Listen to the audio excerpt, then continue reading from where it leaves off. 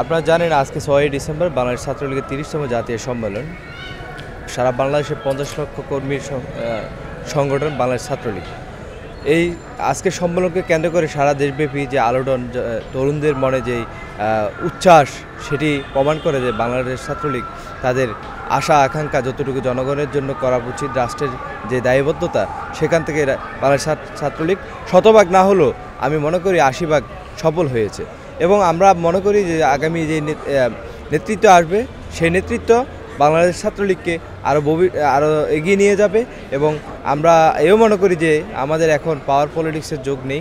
আমরা পলিসি পলিটিক্সের দিকে এগিয়ে যাব এবং তরুণ প্রজন্মকে আধুনিক এবং স্মার্ট বাংলাদেশের যে আমাদের যে স্লোগান, সেই স্লোগানকে সামনে রেখে আমরা বাংলাদেশ একটি নতুন বাংলাদেশ যা বিশ্বের মাঝে রোল মডেল হিসেবে উপস্থাপিত হবে। আমরা সেরকম বাংলাদেশের দিকে বাংলাদেশ ছাত্রলীগ সে, সেই লক্ষ্যে কাজ করছে। আপনারা হয়তো জানেন, করোনা করোনা ক্রাইসিসের সময় ম্যাক্সিমাম মানুষ হাত গুটিয়ে বসেছিল।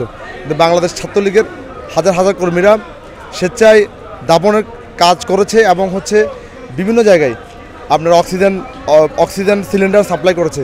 এবং যারা দুস্থ ছিল, বিভিন্নভাবে ওদেরকে খাবার সরবরাহ করেছে। ছাত্রলীগ একটি সুশৃঙ্খল একটি ছাত্র সংগঠন। সবসময় যেটা বলেছিলাম, দেশদ্রোহী এবং অপশক্তির বিরুদ্ধে বাংলাদেশ ছাত্রলীগের একটা অগ্রণী ভূমিকা সবসময় থাকে।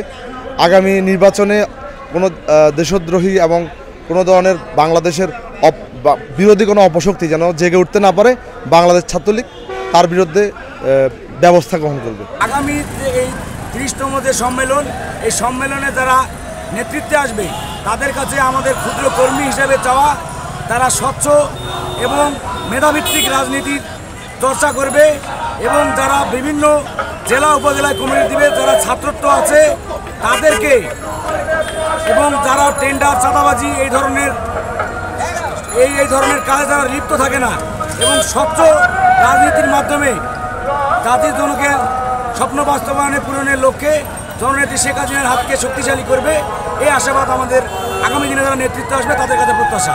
আগামী যে নির্বাচন আসছে দু সালে, এই নির্বাচনে বাংলাদেশ ছাত্রলীগ যে কোনো ধরনের নির্যাতন এবং বাংলাদেশ ছাত্রলীগ সবসময় বাংলাদেশ আওয়ামী লীগের সহযোগী সংগঠন হিসেবে পাওয়া থাকে। আগামী দিনে যে নির্বাচন আসবে, বাংলাদেশ আওয়ামী লীগের দিক নির্দেশনায় বাংলাদেশ ছাত্রলীগ বদ্ধপরিকর তো যদি দেশে কোনো জামাত, বিএনপি অরাজকতা সৃষ্টি করে, বাংলাদেশ ছাত্রলীগের প্রত্যেকটি নেতাকর্মী যে যেখানে আছে সেই অবস্থান থেকে তারা রুখে দাঁড়াবে।